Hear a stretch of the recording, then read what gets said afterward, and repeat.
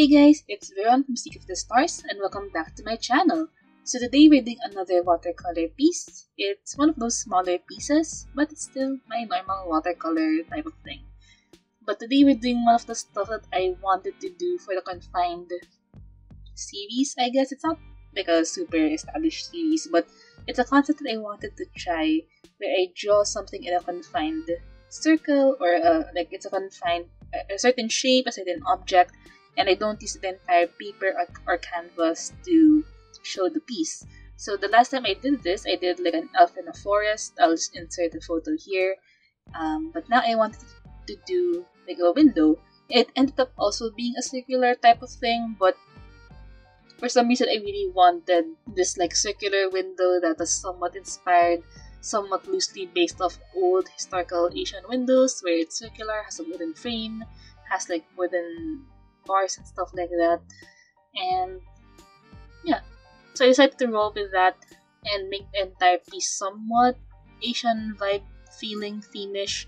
So we have a very loosely inspired kimono type of thing. Uh, even the headdress on the character is somewhat more Asian leaning in terms of the theme and the vibe of it. I did do use a little bit of references, so it's very fantasy based, so it's not meant to be accurate or anything like that. And yeah, that's how I ended up with this piece. So I do skip the line art phase quite a bit, mainly because um, I'm using such a thin pen that on top of lead it's not really visible, so it really isn't nice to watch, and it's just extra time that's kind of useless. So we'll just have this little insert here where I draw the window because it's the most visible, and yeah.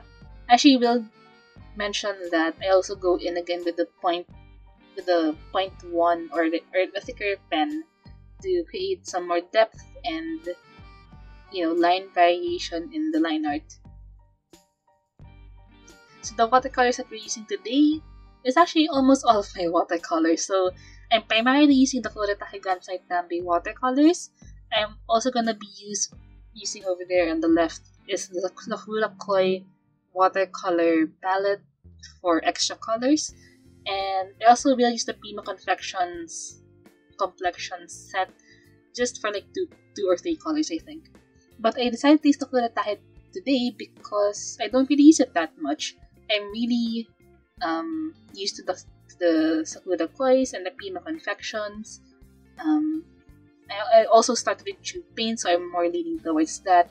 So the, the Kuretake is for a bit of a different species of watercolor to me, mainly because of how how it works. Like if if you have a kuretake, you would know the difference of it versus like say your sakuras or your um, primas and your prangs. It's quite different. Actually, it's kind of near prang, but anyway, it's still pretty different. It's not as solid.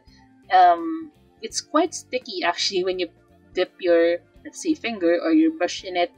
It's actually really really vibrant, which is great and the way that it lays down and mixes on paper is still com- somewhat different from your uh, your normal watercolor. So your Western, I, I, hear people call it like Western and Eastern, or I don't really know if there's such a thing, but it's it, if they know more than I do, hey. um, so I'll just call it that, I guess.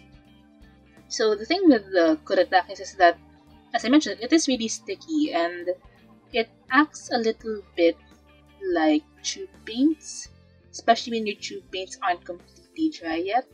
But the way it mixes or the way it lays down on paper is actually also different because with my tube paints and with the sakuras, I don't. It doesn't lift, or yeah, it doesn't lift as much with water. With the kuretakes, they actually lift quite a bit. So in terms of um, wet on wet, it is great because it does blend so beautifully together. But if you want like a hard line or hard layer, I would suggest that you would let it dry completely first before you go in because it will blend. And to some people, that's awesome, and I do like it. I feel like I just wasn't prepared for it because I wasn't intending that kind of effect, so I got a little bit surprised. But I did learn that you have to let it dry first, and it I did get the same effect that I wanted as in normal watercolor, so that's fine. But yeah, I just don't use it that much, mainly because I guess the colors. Because like the colors are very they're beautiful, they're interesting, but there are some colors that I really like. Like I really like blue or really yellowish leaning blue, and I'm pretty sure I could mix that. But I have this good colors in hand, so might as well use them, right? They but see they had a problem with mixing with Western. They didn't have too much of a problem mixing with the with the Western watercolors. I just think that they separated a little bit when you mix them on the palette. But once you mix them and put them down on the paper while they're together, they actually don't do anything weird, so that's pretty cool. And they don't have any problem layering over other kinds of watercolor. It's just when you mix it on a plastic pad, that's when you see them sort of separating a little bit, and you see uh, like little granules of the pigment. But you can just easily remix, remix that as you use it.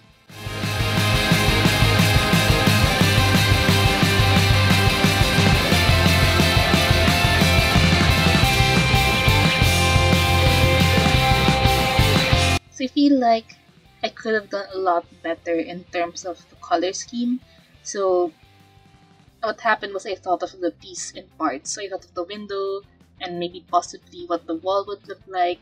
I thought that I want that I wanted to have a tree in there. And then I knew that there would be a character, but I didn't really think of what she would be wearing or what what colors it would be wearing. I first assumed that I'd be doing a very bright like you know, like it's the inside of a house, so there'd be like a bright light or yellowish looking tinted light, or and maybe the character wearing something like a peach. But I ended up really liking this magenta color. But I didn't realize that when I put them together, they kind of blend in together. So what I'm doing now is that I'm adding some blue to create a bit more of a violet tone, just to create some distinction between the window and the girl. And I even thought that, hey, I want the girl to have brown hair because I tend to use blonde and black a lot or some other weird color, but I don't really use brown. So I wanted to use brown, but then I realized that the wood is brown, so. Uh, suggestion, pro tip try to think of the entire piece before you actually start drawing it, because with me, you get issues like this where the color scheme in your head in parts look great, but when you put them together in paper, it's not so great. I did have fun though. I really do like these watercolors. I just feel like I need to learn how to mix them a bit more or how to play with the colors that's given to me a bit more. They're really, really good. I just really like the vibrant, playful colors of the Sakura Kois.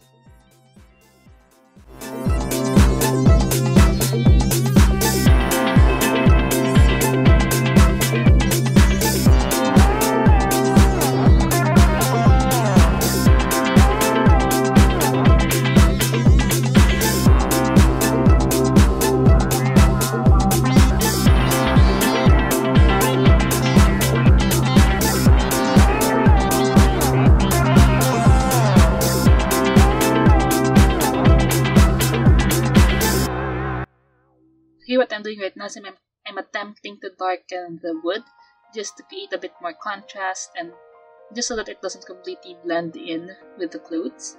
And that's one of the things you can do to keep on trying to repair your color scheme, I guess. Um, it doesn't always 100% work. You, could end up with a mess. And I was just lucky this time that um, it worked pretty well.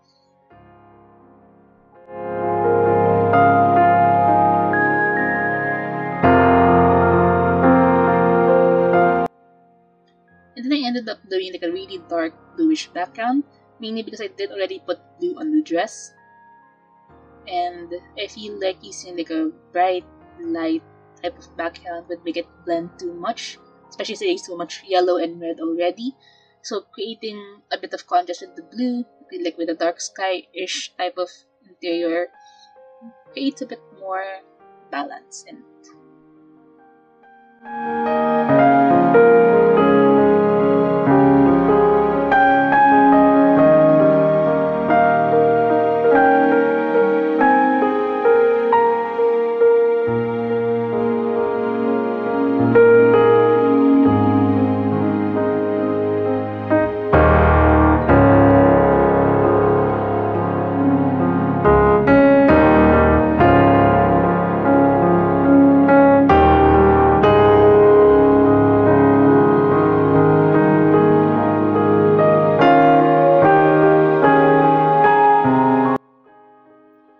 This where I make a bit of a pretty big mistake.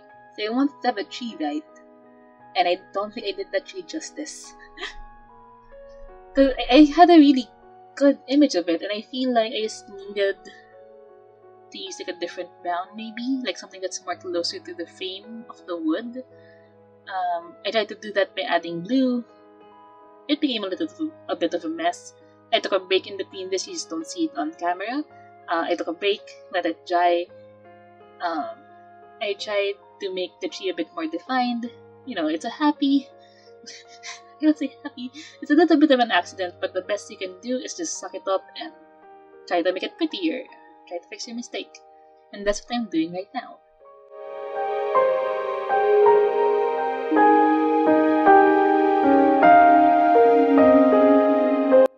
I did contemplate maybe um, just scrapping the piece and then doing it completely over. But by the time I thought that, I already had the tree in and it was already fully colored and I didn't want to do that. So maybe a year from now, I'd return to it and try to do it again, maybe with a bit more solid color scheme in my head. I actually do like the composition somewhat. I will just maybe tweak it just a little bit more. But other than that, I actually kind of do like it. I made some decisions that were not the best. And, well, that's art and that's life, so meh. On to the next piece, I guess.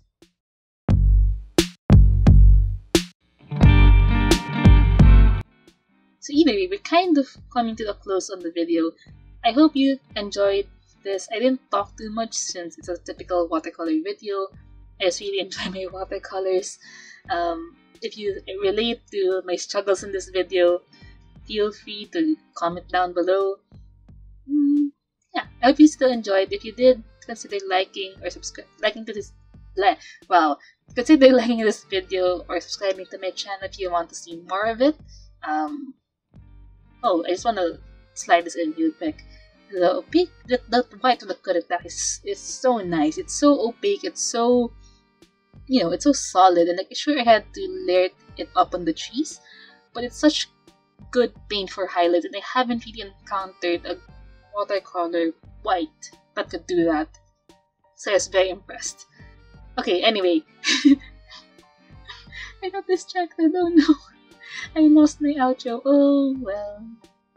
Yeah. Um I hope you enjoyed. Follow me on Facebook, Instagram, or DeviantArt if you want to see more and I'll see you around.